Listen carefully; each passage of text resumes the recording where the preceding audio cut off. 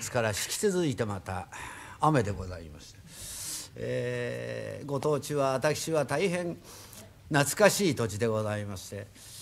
本当の私の初舞台というのは横浜でございます、えー、伊勢崎町に新富邸という席がございます、えー、時間が少し早くこちらへ参りましたんで今伊勢崎町へぶらっと行ってきましたが金の橋の方から行きまして右側にあの浜楽器店というのがございます、えー、あそこが元新富邸という席があります。3階席でございまして下は、えー、木戸。我々の方では入場料を取りますところを木戸口と言います。で正面に大きいはしごがあってこれを上がりますと、えー、これがお客席でございまして、えー、三宝桟敷でこういうふうにこう三宝にこうずっと操作敷がありまして3階建てで、まあ、当時としては大きな建物でございまして私ども横浜に参りますと旅へ行くと言いまして今度はどこです？えー、浜へ行くんだああそうですか旅ですか気をつけて行ってらっしゃいなんていうこと言って、えー、今の方はそんなことを言うとお笑いになりますけれども我々の自分にはそうだったんです、えー、横浜は掛け持ちというわけにいきませんでこちらへ15日。今はあの10日ずつの興行になっておりますがその当時は半月の興行。上関下関といいまして1日から15日までを上関、えー、16日からみそがまでを下関と申しましてで半月の間はうん横浜行くればこっちもずっと泊まりきりでございまして。夜一度だけの商売でございますので、えー、あの新富の2階へみんな泊まり込みまして時折、えー、曲金長男という大変結構なところがありまして ああいうところへちょいちょいその見学のために参りましたけどうん私が本当に初めて話をやりましたのはあの新富邸でございますので。えー、誠に懐かしいところにこういう会ができましたということは結構でございまして、えー、どうかまあ長く一つお引き立てをいただきますように。えー、昔からこのよく陰気陽気ということを申します。ものの陰陽というこれは何にでもありますが、えー、春椿夏はえのきで秋下着冬はあずさで暮れはシイラギというこれが本歌でございましてこれをそのもじりまして式亭三馬という人が「春浮気夏は元気で秋塞ぎ冬は陰気で暮れは孫つき」という、え、教科を読みましたが暮れの孫つきというのはもう間近になりまして12月大晦日というこれは大変な役日で今の方がお聞きになって何が大晦日がそんなに大変なのかと不思議に思うでございましょうが、まあ、大抵お商人などは夜明け頃までは、えー、ご商売をしていらっしゃいまして。酔いのうちから早く寝るなんてわけはないんで、えー、とにかく大変ですな商売とそれからあの感情を取るという。えー、どうしてそんなに感情を取るのが忙しいのかというとこれは前々からおせおせになりまして。以前は脇へ買いに行ったり何かすると評判が悪かったんで。一つ町内にいれば、えー、その品物があればそこで買うというわけで。あそこはどうも高いから何点で他へ行ったり何かすると嫌なやつだね。え？うん脇町内まで買い物に行きやがったって。技量知らねえやつじゃねえ。いいじゃねえが何も少しぐらいのことは我慢をして町内で買い物をするがいいがどうもあいつは嫌なやつだ飲んでんで悪く言われますのでまあどうしてもうん自分の間近で物を買うというわけで顔が利きますから今月は具合が悪いんだが来月で「ええもう結構でございます」なんてんで向こうも勘定を待ってくれる。大変都合がよろしい、えー、翌月になって払えば何のことはないがどうも具合が悪いからもう一月待ってもらいたいてんででこれがだんだんこうおせおせになっていよいよこのどん詰まりの大晦日というこれは大変で、えー、取る方も取られる方も必死でございましてね、川柳に大晦日首でも取って来る気なりなんというああいけないああ私が行くよあそこのうちはお前が行ったってよこしゃしないずうずしいんだからね、まあ、今日は何と言っても私は持ってくるから。もうもし行けなかったら首でも何度も持ってくるなんてんで、ね、ああ大変な勢いで。大晦日首でも取って来る気なり。払う方もまた大晦日首でよければやる気なりなんというね。ああいいや首でも何度持ってってくれやないからなんてんでね。もうやげっぱちになってんのがある。どうすんだよちょいとお前さん。ちょいと。ねこの人は鼻くそばかりほじくってんの。どうするんだよ。なんだよどうする？どうするって。今日は大晦日だよ。分かっているよ。何もお前が調子を張り上げて大晦日だよって言わなくたって。うちばかりじゃね。どこ行ったって？みんな大晦日。のんきなことを言ってるんだね。借金取りが来るがどうするよ。どうするとって。ねえものはしょうがねえ。向こうだって命までも取ろうってわけじゃねえんだよ。ねまあしょうがねえ。まあいいよ。よかないよ一体何と言って断るんだよ。うんいよいよしょうがなきゃおめえ去年の伝で追っ払えばいいよね。なんだい去年の伝でまたあの死んだふりをするんだろ。いや去年だってそうじゃないか。一体お前どうするつもりなんだ言ったら。万事俺が心得てる。お金の都合がつくのか言ったら俺に任すとおけてえから。こっちはどっかで借りてくるんだと思ったら大きな早桶を担いで帰ってきてこん中へ入って死んだふりをしているからお前がここで涙をこぼして言い訳をしろって。バカなことはできやしないったらやらなきゃしょうがねえって言うからでもしない涙を方々つねったりなんかして出してこういうわけでございましてと死んだもんじゃしょうがないから向こうも帰ってくれたがそのうち大家さんがいらしてどうしたってえからこういうわけで急に亡くなったんでございましてとあんないい人だからまあそりゃ飛んだことをして後々は何度でもまた私も相談に乗るがこれはほんの心ばかりだと言っていくらか包んでくだすったけどもそんなものはいただけやしないやねん。明日になれば生き返るのは分かってる。もうおぼし飯で結構でございますからそちらにこれは大納めをおったらそんなことを言わないで出したもんだからおとりいいえよろしいんでございますって二人が押し問答をしている時に。早桶の中から手を出して「せっかくだからいただけ!」って大家さんが飛び上がって驚いて「キャッ!」と言って帰っちまう。その置いてった下駄を履いたあそこのうち五年史に行ったんだ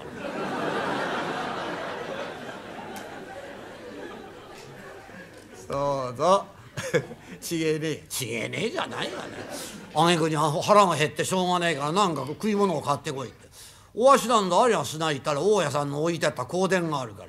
何か買ってきてくれって。しょうがないから久さんのとこ行って焼き芋を買ってきてお前が缶の中で食べているところに炭屋のおじさんが来てどうした実はこういうわけで今急に亡くなったんでございましてと。そりゃまあとんだことをして長いおなじみなんだからお線香をあげさせてもらうからおじさんがそば行ってるんだからその間食べるのをよしゃいいお芋のわっちゃ食べるから。缶の縁からポーッと煙が出た。変な顔をしたよあの時に。おみつさんお前仏様腕たのかいって。仏様腕るやつはない。そのうち中でお前がブーツ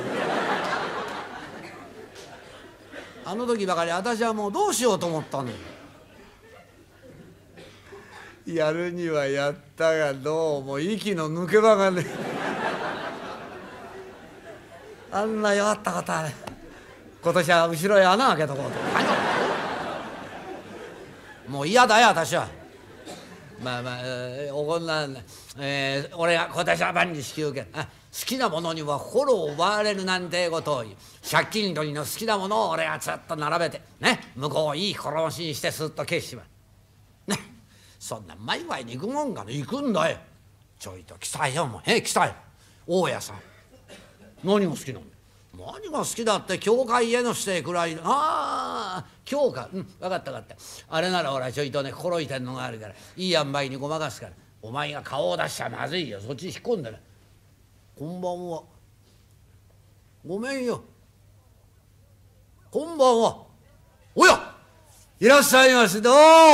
ええー、よくお出かけで。どう？ぞどう？ぞどう？ぞどう？ぞ、えー、おおありおごってもいられないが押し詰まりましても。おお前のところも忙しかろうが私もこれから方々回るんだ。今月で家賃が4つたまったなへえ家賃が4つたまった。うわあよくたまった。おいバカにしちゃいけな。いお前が貯めたんだ。4つというのなんですからもう一つ増やして5つにして。その辺で流すということ。冗談じゃいけないよ。質屋じゃないよ。えーまあ、冗談はさておきまして雨露をしのがしていただく直ちんだけはなんとかまあお払いをしたいと思いましたが私も好きなものに凝っておやっておりますえ？いいえ強化に。やってみるとまた風流であんな面白いものありませんね。何やってるんだ私が好きだからそんなことでごまかす。いいえごまかすとこじゃ全く強化に凝ります。もうバカな凝り方。強化明日かというぐらい。嫌なシャレだな。どうも。本当に強化に凝った？お前が。俺は偉い。36件棚子を持っているがそういう風流なものがない。お前がその道に心を寄せるというのは偉い。じゃあ棚賃はいらない。いらなかないよ。棚賃とは違うがじゃあやったというんなら何か聞こう。やったのがあるだろう。ええ。えー、こういうのはいかがでございましょう。うん。何もかも有竹七に置きごたつ。かかろう島の布団だになしと。何？何もかも有竹七に置きごたつ。かかろう島の布団だになし。うんなるほど。面白い、うん。えー、貧乏という題でありましたが貧乏の棒も次第に長くなり振り回されぬ年の暮れかな。うんなるほど。面白い、うん、貧乏をすれば悔しやすそうあたの下から出ても人に踏まるる。貧乏が現れているな。どうも、えー、をしても下屋の長者町上野の鐘のうなるのを聞く、うん、貧乏をすれどこの家に風情あり七の流れに借金の山。七の流れに借金の山か。なるほど。山水、うん、そうなるとまた貧乏も風流で面白い。えー、貧乏なんだお前な貧乏ばかりだ。貧乏それ離れなくちゃいけない。えー、私も一つやろうか。え大家さんが？やってえー、結構。ねえー、ぜひ伺いましょう。うんどうだ？柏やる。え？柏やる？どうもありがとう。ああちょいとお礼を。本当にやりゃしないよ。強化だよおいおいいいいいんだいいんだ。いいんだよ。くれるんじゃないよ。強化だけだって。強化だけでね。やれやれ。なんだいがっかりしちゃいけない。柏やる。借りは取らるる世の中に何とて大や連れなかるらんと。女房を喜べ。教科がお役に立ったはやいと。冗談じゃない。よ。しかしまあお前が菅原もどきで言い訳をするんなら私も決して私平ことは言わない。桜丸の散る自分まで待おうとしてやろうか。そう願えましたら来春必ずお家賃を目王にいたしますから。え？さようでございますか？どうも愛すみませんね。え？えー、ではどうぞお気をつけて。え？良いお年をお迎えになりますよ。おはようございおい見ね喜んで消えちゃったら。お前さん言い訳うまいんだねもう。どこでそんなもの覚えたの？寄席行くと話家がこんなことやる。いやなんだね。話してものためになるね。ためになるったってもう落語は聞かなくちゃいけません。何かいいことがあるんだから。え？何？また来た？誰が？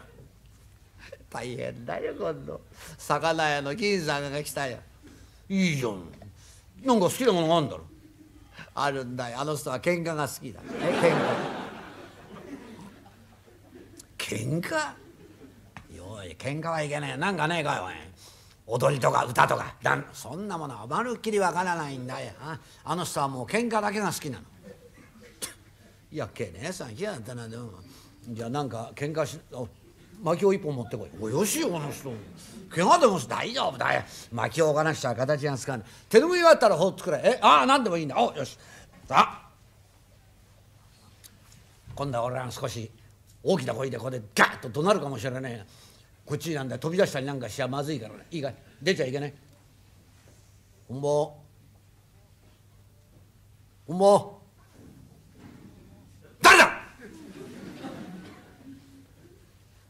俺だよ。魚屋だよ。何を？魚屋の金剛だなこの野郎。不定野郎だ。口入れ。なんだ大層威勢がいいじゃん。なんだい向こう鉢巻きをして。まあどうだっていいけどおめんとこの感じは長すぎらん冗談じゃねえだいつまでたったっておめえ正面の締めくくれやつかねえ銭はわずかだけども今日は大晦日だ。え？勘定払ってもらおうじゃない。おい。じゃあ何か？てめえ勘定取る気か？うん取りねえじゃん。腰があるから取ろうってんだよ。じゃあ俺の方でも借りがあるから払おうといやよかろうが何しろ銭はねえんだああまるっきりから消すなんだよ。おめえも今わずかな銭をと言ったんだね。わずかな銭をあんな無理に取ったってしょうがねえだろ。まあ払える時期が来たら払ってやるから。死ののやつに黙って蹴れ。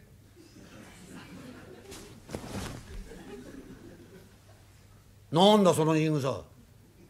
なんだ死ののやつに黙って蹴れと。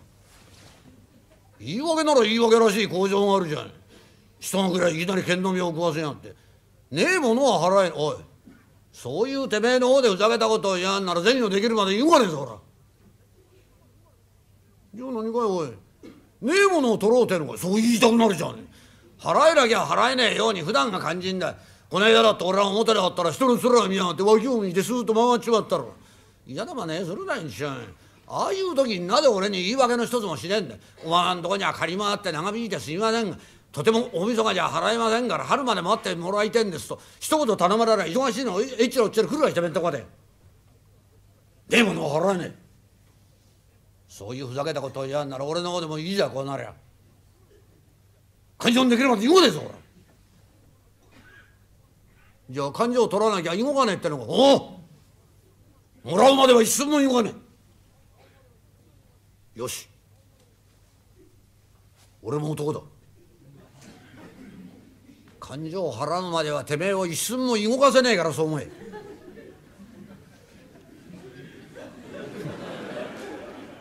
もらってくる。えもらおうじゃん。もらおうったってあるものを出さねえんじゃねえんだ。逆さに振るったって鼻血も出ねえ。百もねえんだ。ま人間は七転び八起き。ね。いつ何時銭は転がってこねえとは限らねえ。銭が入りしでおめえに先に勘定するから。まあとにかく入るまで半年でも一年でも座ってねえそこに。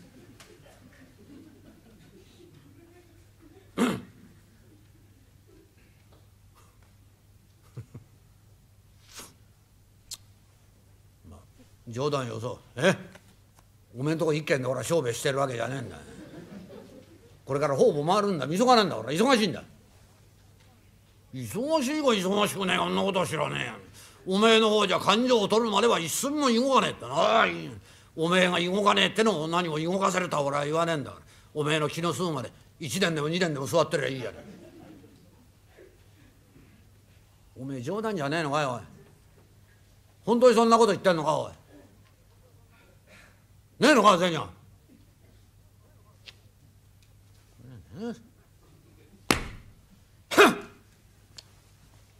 じゃあまあいいや俺は23軒回ってくら。で後でこっち寄るから。何も残らずでなくちゃいけねえってわけじゃねえんだから気は心ちょいとでも形がつきゃそれでいいんだから。できるだけでいいからこせとけ。ね後でこっち寄ら。おいおいおいおい。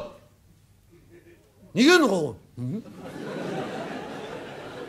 誰が逃げて勘定を取るまでおめえ一寸も動かねえったじゃねえ。え？動かねえんならそこいつまでも座ってりゃいいじゃねえ。でちな俺に言わせりゃ勘定を取ろうてんなら普段が肝心だぞえ？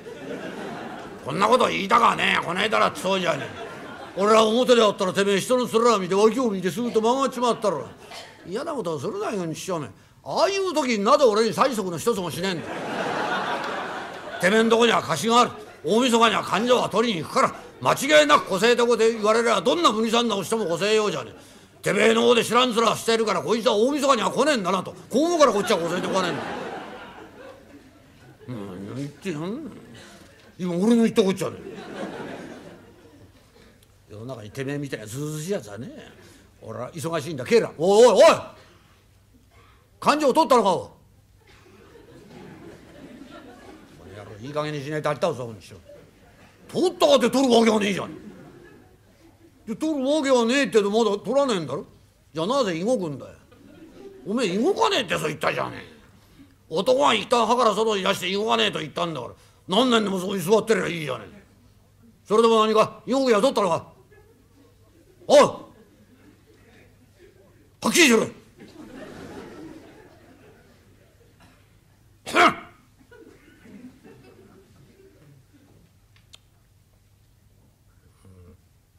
いや、本当にや。なんだ？いやもう、めんどくせえから、もう、たらでもいいよ。なんか引っかかってんのか、ここのとこに。もっとはっきり口を聞け。じれって野郎だな、こんにちは。だから、取ったのが取らねえのかってんだ。もらったよ。とでももらったようじゃいけねえよ。もらったらなぜ受け取られていかないんだ？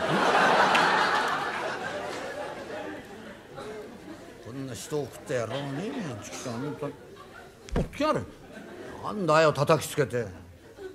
おおまだ版が押してねえわ。受け取りとかアイス見て版があんだろ。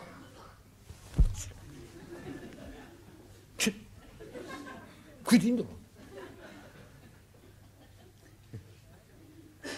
藩が押してありゃいいね。いや勘定払ったなお前に。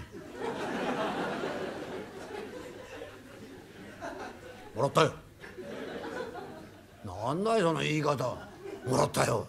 もらったよって言うさねえおめえだったら金土じゃねえ。え？勘定をいただきまして誠にありがとう存じますと。毎度ご贔屓様ぐらいなこの野郎。取りもしねえ勘定をてめえにくれてやったあげくに俺がそんなことが言えるか言えねえ。勘定取らなかったのかいまだ。取らない？取らなきゃ取らなくてもいい。あ。じゃあ5年でも10年でも分か分かった分かった。礼を言うよ。礼を言やいいんだよ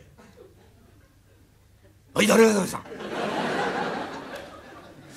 食いつきそうな顔してや。え？メイドリエでうぜんした今助みたいな声を出して。いくらええー、6円80銭なりとな。安い感じはじゃ6円80銭。今10円で払ったからお釣りを。何をやんだこっち怒って蹴っちゃった。およしよ嫌だよまあ私はどうなるかと思って本当に。大丈夫だい。これでまあ野郎の感情を踏み倒しだい。かわいそうだよそんなこと。あらちょいと。また来たよ。よきやがんだ誰だ今度はなんだ酒屋の番頭さんだよ。あの人はお前芝居が大変好きなの。芝居が好きあれはああよし。芝居どこやこっちはお手のもんだ。うまく断る。ああ大丈夫だ。そっち引っ込んでね。こんばんは。ごめんくださいましあどうも。ええー何しろ押し詰まりますとお忙しいことでございましょう。お宅の感情があんまり長すぎるってんでうちのこれが怒っちゃってねあそこはずうずしくって出さねえんだからまあ汚しても汚さなくても何でもかんでもみんな今日もらってこいって。ガリガリ言ってんだよね。まあいろいろ都合もあるでしょう。私も間に入って困ってるんでね。半分でもいいから今夜はもらわない。え？何を？苦しゅうのい。冗談言っちゃいけないよ。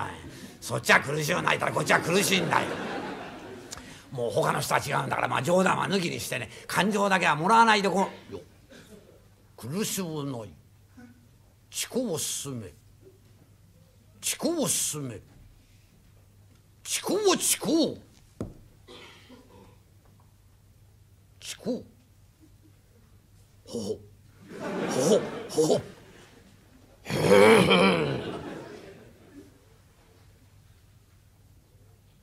ちこの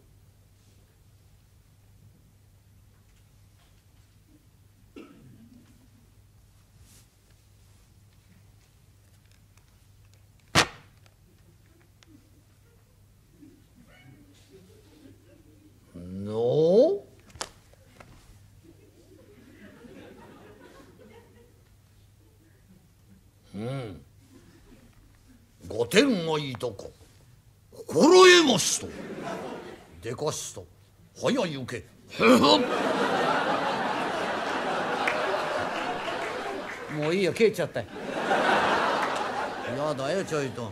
何を言ったの？